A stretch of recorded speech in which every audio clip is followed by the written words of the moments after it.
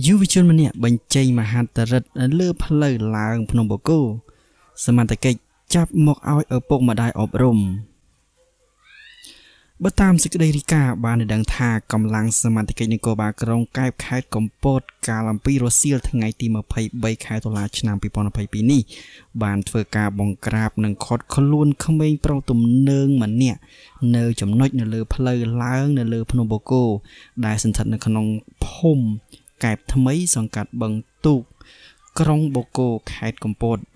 រួចបានហៅឪពុកម្ដាយក្មេងប្រុសម្នាក់នោះឲ្យទៅទទួលយកដើម្បីធ្វើការអប់រំពាក់ព័ន្ធទៅនឹងករណីបញ្ចេញមហាតរិទ្ធបង្ហោះម៉ូតូនៅលើផ្លូវសាធារណៈ សេចក្តីរាយការណ៍បន្តថាក្មេងទំនើងខាងលើនេះ មានឈ្មោះថារឿងរស្មីភេទប្រុសអាយុ16ឆ្នាំរស់នៅភូមិដងឃុំស្ទឹងកែវស្រុកទឹកឈូខេត្តកំពតមុខរបរជាសិស្សបើតាមសមត្ថកិច្ចបានដឹងថា នៅរសៀលថ្ងៃខែខាងលើក្មេងប្រុសទំនើងម្នាក់នេះបានធ្វើសកម្មភាពបើកម៉ូតូដោយប្រើប្រាស់កាយវិការដេកក្រាបនៅលើម៉ូតូរួចក៏បង្ហោះនៅលើដងផ្លូវសាធារណៈ គោលដៅឆ្ពោះឡើងភ្នំបូកូ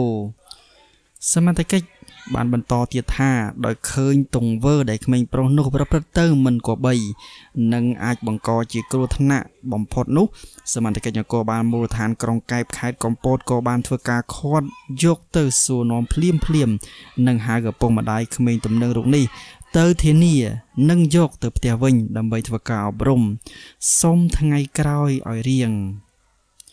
បាទចឹងសូមបញ្ចប់នៅអត្ថបទនេះតែទំនេរសិនហើយបងប្អូនដែលមិនទាន់បានចុច Subscribe បាទសូមចុច Subscribe ដើម្បីទទួលបាននៅ